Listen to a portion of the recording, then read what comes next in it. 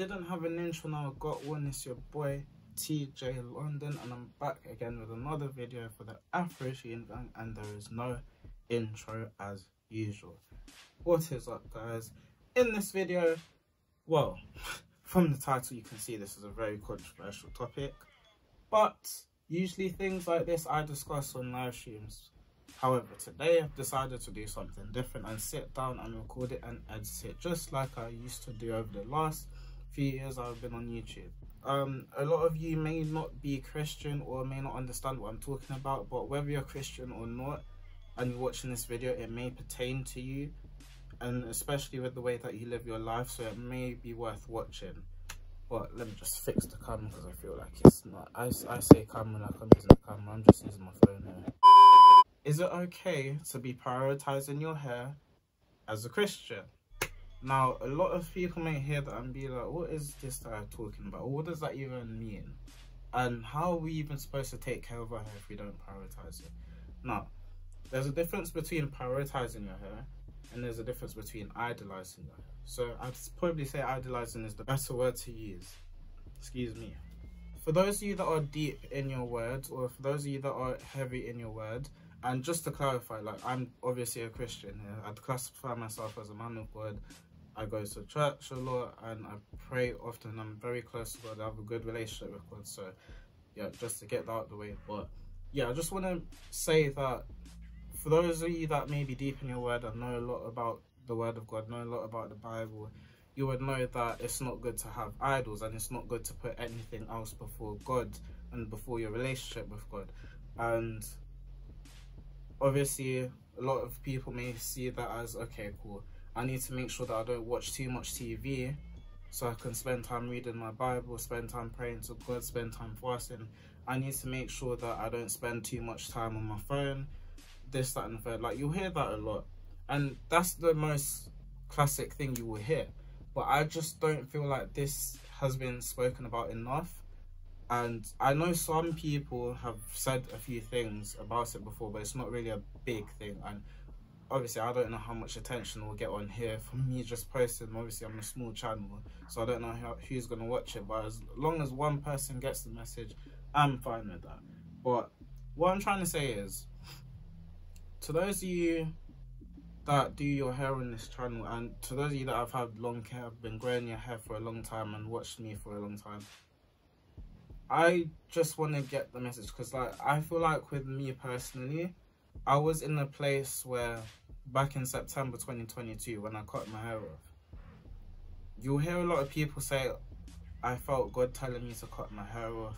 Holy Spirit told me to cut my hair off. And yeah, because that's because some people prioritize too much time and they idolize their hair a lot more than they read the word of God and things like that. And the minute God sees that you idolize or put something before him, he's going to make that known to you. And to you, you may feel like I won't hear him say that though, but there's so much different ways God can get through to you. And whether that be through a thought, whether that be through somebody else, something that you read on your phone, he is going to get through to you. And we have to be careful because, especially me, I feel like I was just in a place where I was just there contemplating it and obviously I grew my hair again but for me it's more of a thing where let me make sure that I do not prioritize my hair more and I spend time with God this year. And I feel like that is what I've really been trying to do this year because I feel like especially in 2022 I feel like 2022 was the year or 2021 those were the years where I was just really going hard with videos. I was just slapping hair videos left right and center. But now, obviously, you guys can see I've taken a reserved step. Like, I've taken a long break for a few times and just put myself backwards because I just don't want, I just don't want to be a repeat. I don't want it to be a repeat of last year and the year before that. You know, and for you guys watching, and for those of you that are Christian, like, we can obviously read the room, we see what the world is like, we have to get ourselves right. And if we are prioritizing things like our hair instead of reading the word of God, it will really mess us up. And heavy emphasis on the word really because sometimes we get so caught up in things that we do and we don't even realize what's happening around us. And I'm not saying that in a way where oh we're gonna get drunk over hair. That's not what I'm saying. I'm saying that because especially with us as black people, especially we focus so much on our hair and sometimes I look in the comments of people on TikTok that post things with hair or hairdressers or hairstyles. I look in the comments, people are always finding faults with something, how much gel somebody's putting in somebody's hair, how much grease there is, how much their scalp needs treatment, how much damage. There's always fault with something. And I just feel like with the black hair community, to the Christians out there that involve themselves in the black hair community, we have really got to be careful because the minute we lose ourselves in something like this, it's it's it's not good. And I I hear this phrase a lot like hair guru or hair goddess. I'm not really with all of that. If I'm being honest with you, I'm not with all of that. And you know, it's it's a weird word to use in my opinion. You know, like especially if you're calling yourself a Christian and people use the word G O I said, yeah, G O A T. You obviously know what that spells. I don't mess with that word no more. Like, don't say that word around me. You know, I genuinely feel like as a community of Christians, we focus too much on our outward appearance more than our inward appearance. And it's a big problem, and I don't care who wants to say what. It's obviously the truth because we cannot sit here and pretend like it's not going on here. Like this is what's happening. And especially when it comes to our hair, we focus too much on what our hair looks like nowadays rather than what our relationship with Christ is like. Am I wrong? No one can tell me it's not the truth, but the message I just want to get out there today is that whoever is watching this, I just want you to make sure, like, if you feel like you are prioritizing your hair a lot more than you feel like you are spending time with God, it's not a bad thing. Like I'm not here to judge anybody. It's never my job to judge anybody, and that's not what I intend to do. But at the end of the day, I'm just here to spread awareness because I have a platform to do so. So I'm going to spread awareness, and I may even post a few bits on TikTok as well. But I genuinely feel like this is a thing that a lot of people need to think about because we hear so much about this, so much about that as Christians, but who's really talking about hair and who's really talking about us prioritizing our outward appearance too much. You don't really hear much of it nowadays, and I just think something needs to be done. Regardless of who is watching this, as I said, just as long as one person gets the message.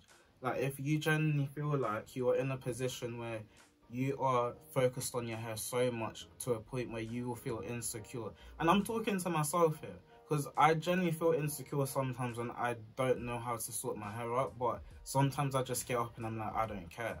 And I feel like if you get to a point where like, I don't care what I'm looking like, I'm just gonna do what I, I've got to do.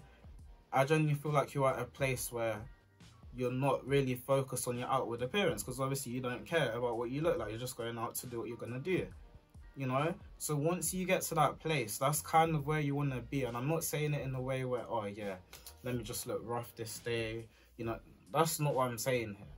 Like, if you genuinely cannot leave your house or genuinely cannot do things for God, well, let's put it like this. If you can't even post a video on TikTok because you're so concerned about what your hair is looking like or what your outward appearance is looking like, then there's an issue, you know. And I know some people generally struggle with insecurity, but the Bible comes and tells us that we should be anxious for nothing, you know. And there's a reason why that is in the Bible, because why should we be anxious if we know that God is protecting us each and every day? If we know we're covered under his blood, why are we fearful of what other people are going to say? If we know that he is going to guide us to make correct decisions, why are we so concerned on other people commenting on our appearance? Like, we have to remember the God that we serve at the end of the day. And to those of you that aren't saved or not Christian, like at the end of the day, this is still good advice for you because the minute you prioritize your looks and your outward appearance more than you do anything else, it's really gonna make you feel insecure, and that's just the truth. And I'm speaking about myself, really. Like I've learned to live with that. So much times I've grown up, like I don't like I forced myself to think whenever I have short hair whenever, excuse me, whenever I have short hair, I force myself to think like, yeah, I do not look good. Because in the past, every time I used to post myself on Snapchat, people would be like, oh, you look better with short, you look better with long hair. I don't like your short hair. Your hair was so nice when, I, and that just generally forced me to think. And to, to you guys, it may be like that's not that deep. Like still, little things like that can make somebody insecure really make somebody think about their appearance. And look at all the crazy stuff I've done. I've straightened my hair. I've put edges on my hair. Like, I've done so much with my hair on this channel. I've done bantu knots. Look, scroll down when you have the chance to. But that's because I genuinely got to a point where I just didn't care about what people thought. If I sat down thinking about what people were to see me as, like, I wouldn't really be where I am today. I wouldn't have 4,000 subscribers today. You know, so much people sat there and told me like I wouldn't even get 100 and I'm here with 4,000 and that's because I didn't care. You, I genuinely feel like you have to get to a point where you love what you have at the moment in order to grow. And if you cannot love the fact that your hair's in a certain way, and I'm not saying this in a way where people do not like their hair or whatever, but if you cannot get to a point where you can't settle, then maybe it's time to cut it off. Maybe it's time to take a different approach, you know? But yeah, instead of me rambling on, just want to say this is the end of the video. Hope you guys were able to get something from that. I hope you were blessed hearing that, and I hope you think about even like think about what I've said. It may help you, may not help you, but I'm just here to spread awareness at the end of the day. And if you want more stuff like this, feel free to subscribe, like, and let me know in the comments and yeah, guys, tell me what you guys think in the comments. Do you agree? Do you not agree? Let's have a discussion. You know, that's why the comments are there. But anyway, we'll catch you guys in the next video. Stay safe. God bless you all. And I love you, man. Please subscribe. Please. Please.